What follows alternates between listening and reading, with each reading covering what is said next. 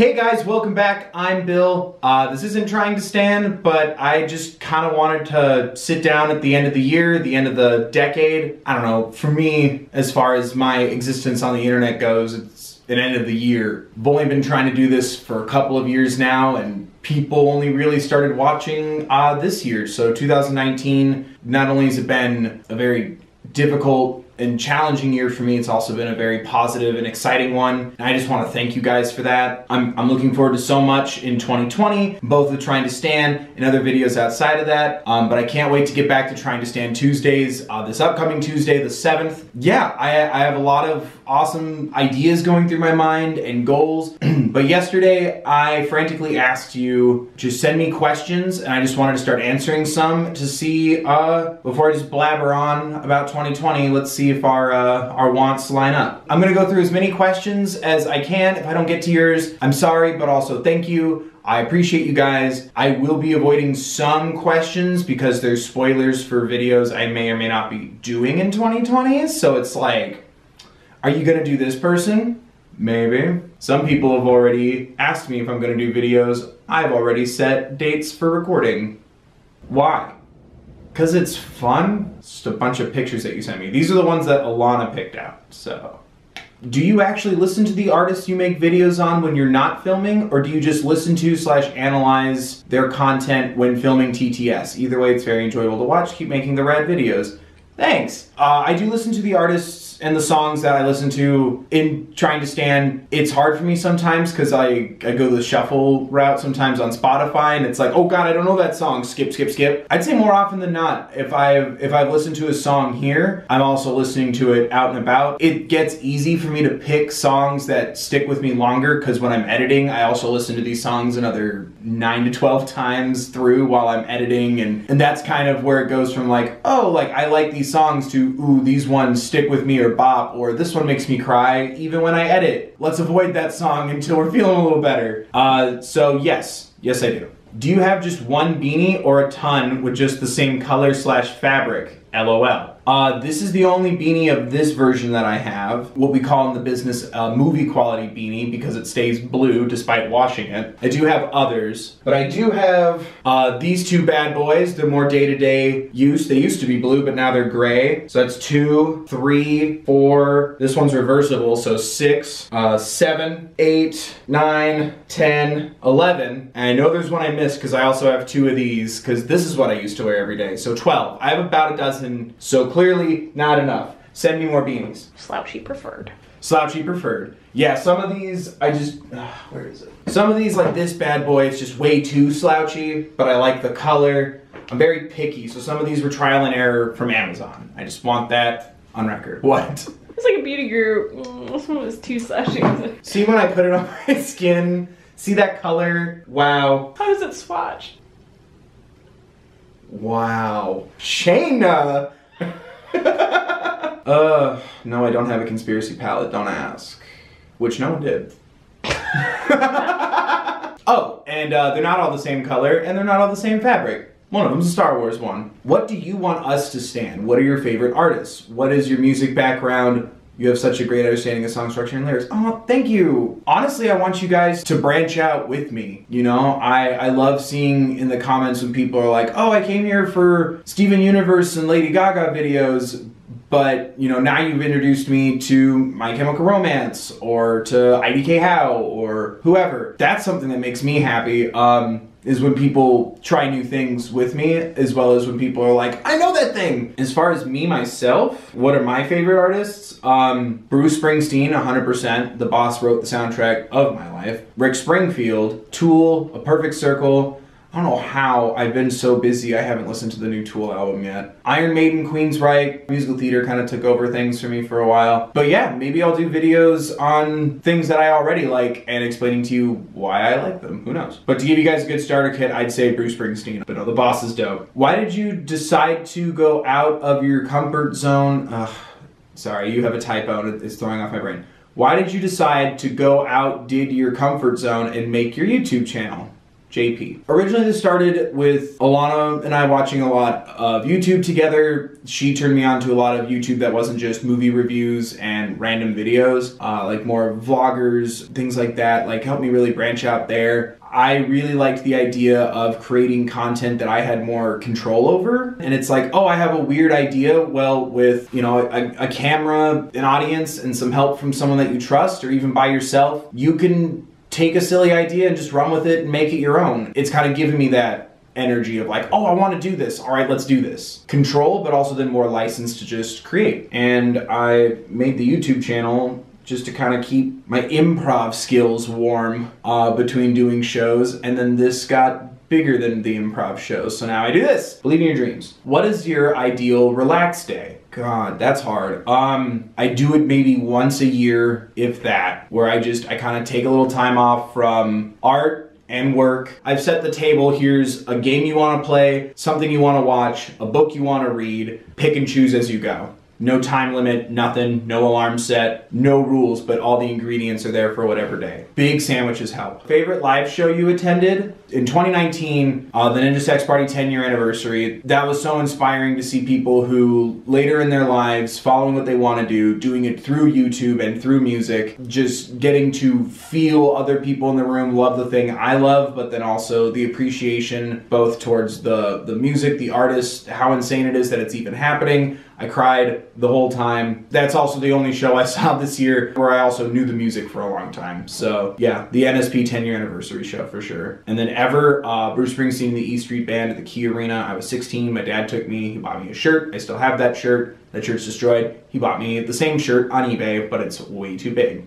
I've worn it in some of my videos. If you ever get a chance to see Bruce Springsteen live, it's breathtaking. Why didn't you review the last season of Game of Thrones when it came out? I watched you talk about the other seasons and I'm curious what you have to say about the most recent one.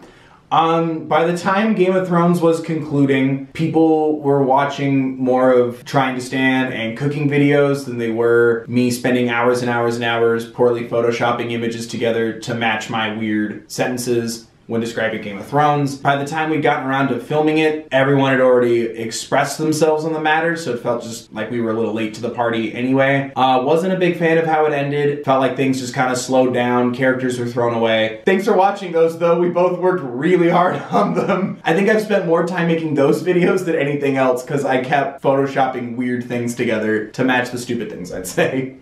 And if you don't know what we're talking about, never you mind all that.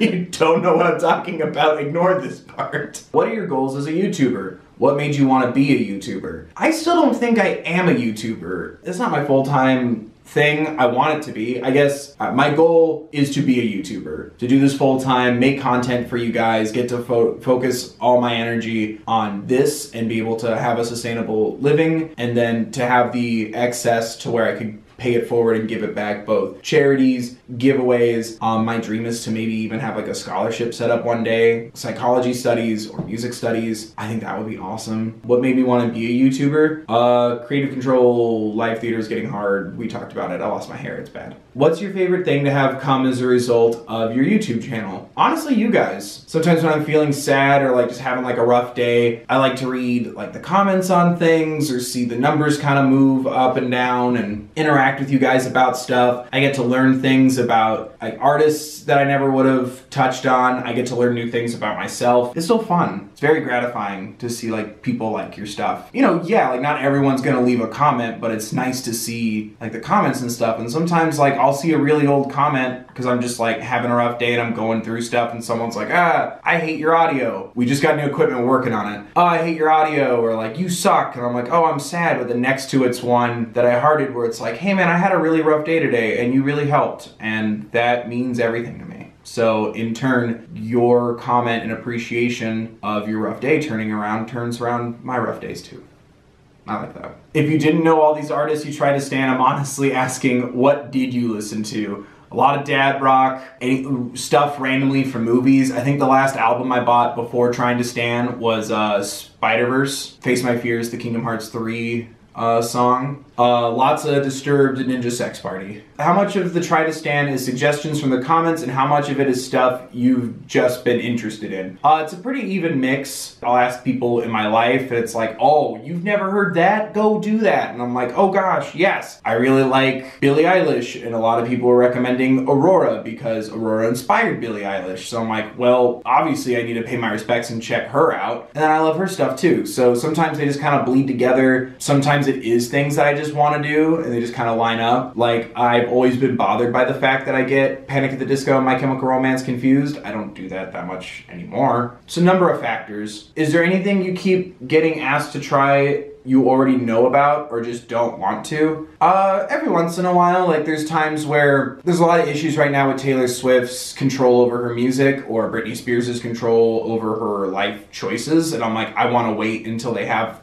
that freedom before I do a video promoting their stuff, or it just feels too sticky or too weird, or I've already listened to it, like Hamilton. I've listened to Hamilton a lot. I get suggestions for Hamilton a lot. I get asked to do Hamilton a lot that was bad. That was dumb. Moving on. Uh, what was the last video game you played? Uh, Legend of Zelda Breath of the Wild. If you could make one spin-off series of a show you like, what would it be? That's a question. Grunkle Stan and Ford spinoff of Gravity Falls. Lars and the Guardians of the Universe. I also want a King of the Hill reunion season. Favorite experience with fans you've met this year? All of them, honestly. What it's hard because I they're all wonderful, but I'm so awkward because I get so thrown off that then I judge how I respond to people because I feel like I'm so awkward. What? You watch my stuff? I'm sorry. Like I get really I'm not used to it yet, and that's something I want to get better at. Like everything about it I love, and then I think about how I react and I get in my head. Even now I'm doing it. But honestly,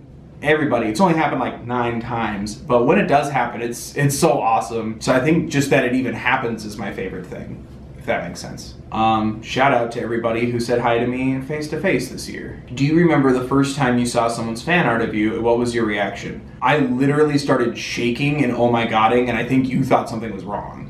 We were at a con. Yeah, we were at Wizard World. Please invite me back next year, Wizard World Chicago. But we were at Wizard World and it was uh, BTS. Someone made a fan art of me uh, worshiping Jimin. Yeah, I was like, ah, which, yeah. And I just saw it I just stared at it. And I'm ironically surrounded by amazing pieces of like fan art for sale and everything about like different fandoms and stuff. And I, I got really like like my hands were shaking. I was getting really emotional. It was just amazing. I'm like, someone took the time to draw me, and I've been making it a habit to like save as many as I can. And then also save the person who made it because I have some where I'm like, oh no, I don't have the person who drew it because I want to start like shouting people out and stuff about it. I just I feel like I don't want it to come across as like, mm, on my fan art, like I, I want to shout out the people who made it and I want to focus on that. Again, my my biggest part of my goals for 2020, it feels like it's me wanting a, a healthier headspace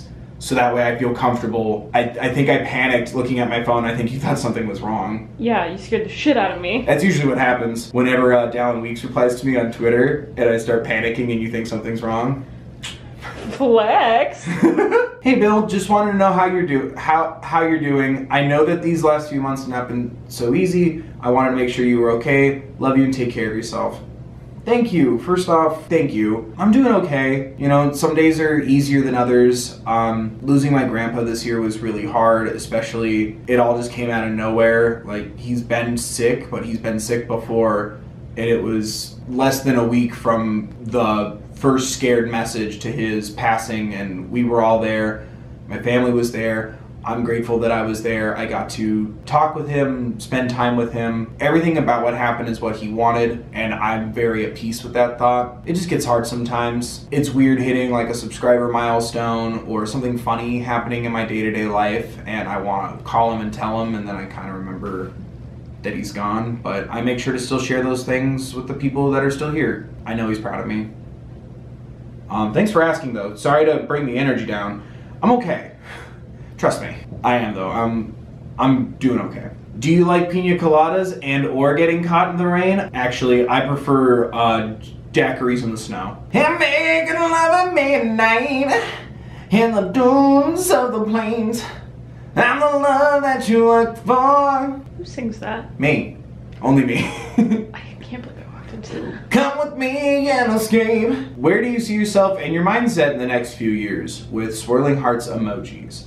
Uh, that is a good question. I want to be in a better mindset and more comfortable being more open here on the channel, but also social media and in my day to day life. I'd love to be a full time creator in the near future, whenever or if ever that were to happen. This is making me happy, even when it's stressing me out, even when I'm tired. I love it. I just want to be more open. Like, I don't want to keep listening to the voice that's like, don't do this, you sound like a jerk, or you sound so vain, or whatever just putting myself in a healthier headspace and I want to make consistent quality content that you guys enjoy. And like I said, I want to have the excess so that way I can give back. You know, like I do what I can, but I wish I had more to give more. You know, that scholarship thing still floats through my mind a lot. Media transition. Do you want children? If so, how many? Probably not, but I want to be like an uncle. I don't know if I want kids. I want a dog though. Can I borrow five bucks for gas money? Please, dude, I need this money. Come on, you know I'm good for it. Sorry, man. Like, I AdSense has been real tight lately. I give five bucks to you. I gotta give five bucks to my landlord, to the cable company. I'm just not doing that, man. I'm sorry. no, I missed it. You didn't. What did you have for breakfast? Black coffee, because I do intermittent fasting. So technically, uh, sliders. at 12.30. If you do cooking videos, will you try to make food from Steven Universe, like Together Breakfast or Cookie Cats? Yes. The biggest regret of my life was not picking up the cookie cat molds that we found at that one Hot Topic. They were on sale and I went, who would care if I made cookie cat things? I regret it so much. Also, since you don't have a P.O. box yet, where slash how can we send letters slash mail?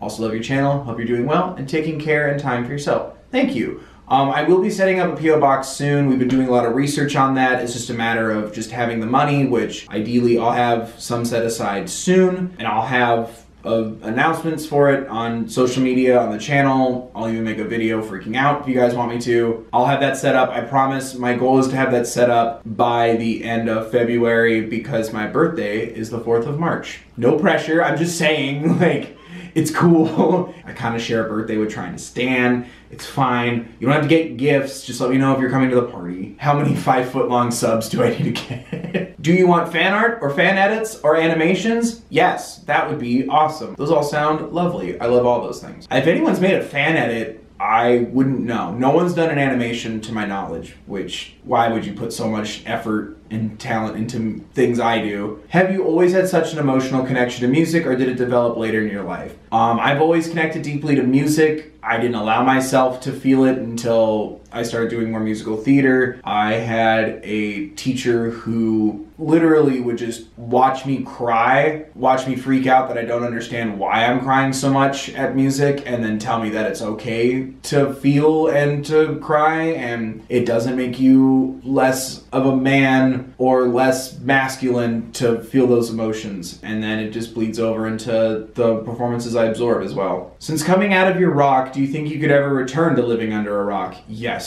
in a heartbeat. I absolutely could. I don't want to though. Um, I could, I just don't want to. Can you sum up your childhood in one sentence? No, I talk a lot.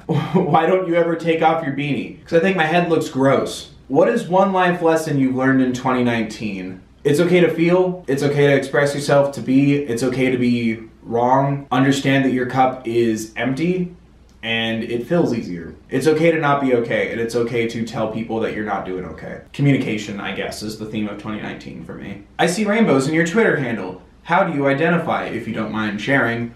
Um, once I figure that out for myself, I'll let you know. Appreciate you though. You're a good. A truly great content creator and a kind soul. My question is, how many beanies do you own? 12.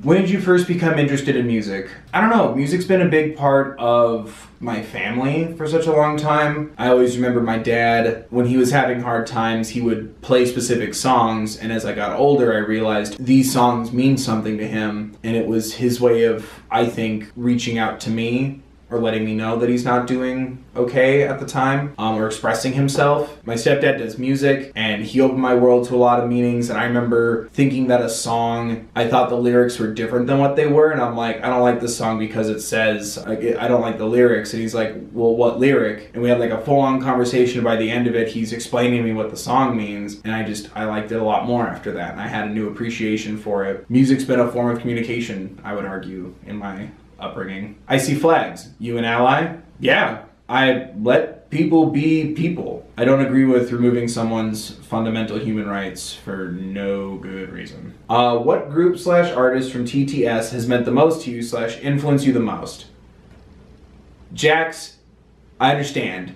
You want me to pick a favorite. I get it. A lot of people want me to pick a favorite. I'm gonna take the path that my parents took, which is imply heavily that I don't have a favorite, but deep down, you know who my favorite is. And you'll spend your whole life trying to reaffirm that it is or isn't you. Are you gonna watch Adventure Time? Yep, I won a box set from Cartoon Network at a random Twitter giveaway thing, not sponsored. I'm waiting for it to show up in the mail so I can watch them all and watch them in order. So, yeah. Uh, how tall are you? A little under 5'10. Do you regret anything? Yes. Can you fight? If I gotta. Why? Who we fighting? There you guys go. Uh, hopefully I answered your question. If I didn't get to it, I'm sorry. If you guys like these kind of videos, let me know by liking it, leave a comment, share it, all that good stuff. Um, and if you guys like these kind of videos, I'll do more sporadically in the future. Uh, but I just wanted to say thank you for an amazing 2019. I appreciate you guys letting me have this break towards the end of the year. I feel like my batteries are charged. I feel ready to start tackling 2020, new Trying to Stans. I have another Steven Universe Future video dropping soon. I have more Trying to Stan, new artists, more parts to artists we've already talked about, uh, new things that I want to try, new di different types of videos I want to make, cooking, gaming, crafting, hobbying. Like there's so many things that have been floating around in my mind, and I'm, I'm really excited for what's coming next. Um, but I just wanted to say thank you. I don't know why I did it this year, but I'm so glad I did. Uh, uh, January 1st, 12 a.m., and my goal was to be a YouTube partner before I'm 30. Uh, I have it up here on the screen for you guys, but I had 33,541 views. I had 315 subscribers at the beginning of this year. And that's just insane to look at. As of right now, uh, it's New Year's Eve, and I have 67,732 just under three and a half million views. And this year's been really hard. Uh, there's been a lot of ups and also a lot of downs, a lot of risks, a lot of fears, a lot of pain. But every time things looked hard or I was starting to implode or felt like giving up, um, that little number kept going up. And it made me feel really good, and it still does. And I just want to say thank you. I hope 2020 brings more growth and more attention to everything that we talk about, both expanding your horizons in pop culture, but I want it to start to bleed into expanding your horizons in life, trying new things, uh, expressing yourself, mental health uh, awareness and wellness. I just want to say thank you if nothing else, I got to still call my grandpa and tell him that I had fifty thousand, and he does he didn't know about YouTube numbers or anything like that, but he said I don't know what a subscriber is, but fifty thousand of anything is a lot. He's not wrong. I just want to say thank you. Been a lot of hard days, and it's not like it's over. It's going to be hard days for everybody throughout life. That's part of existence. But no matter what was going on, it's nice to sit down and check the comments, check the likes and the views, and people's feedback, or people saying cool things on, on Twitter or Instagram, or saying something nice, or throwing out suggestions. And I just want to say thank you. You guys, you guys really do help me as well. And I want to make sure that you guys know that. I yeah, I have goals for 2020. Um, I don't want to say them all out loud and jinx myself or psych myself out. I want to make more content, and I want that content to be stuff that people continue to enjoy, either to help them broaden their horizons with me or distract them from a bad day or a good laugh or you know maybe you learn something about something you already liked or something about yourself or the world or even just come you know laugh at the confused, bearded, crying bald man. But yeah, I uh, I do mean it when I say that I appreciate each and every one of you. Please know that. Take care of yourselves, please. That's a wrap. Oh. You okay? yeah, I can't breathe. That's a wrap on 2019. Oh, I thought you were crying. It was allergies. I also got a little choked up. Uh, no, yeah, yeah, yeah, yeah. From all the pollen in the studio. Well, it's probably the dust. Probably. Anyway. Anyway. okay, bye.